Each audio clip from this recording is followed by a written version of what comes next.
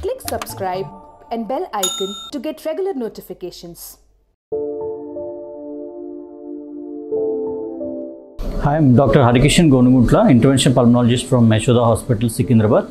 On this uh, World Lung Cancer Day, we are happy to introduce the new technology for diagnosis of uh, peripheral pulmonary lesions.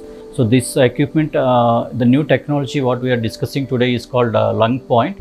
It is from the Broncus. So here uh, we have uh, two different phases. One is a planning phase and one is a procedure phase.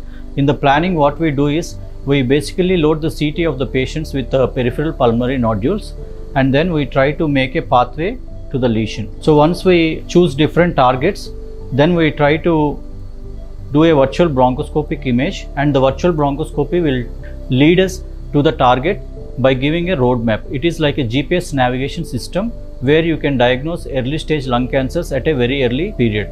So even though some patients uh, we pick up uh, early stage lung cancers on accidentally done chest x-rays and uh, CT scans, these lesions can be targeted and then they can have a curative intent treatment by a surgical resection.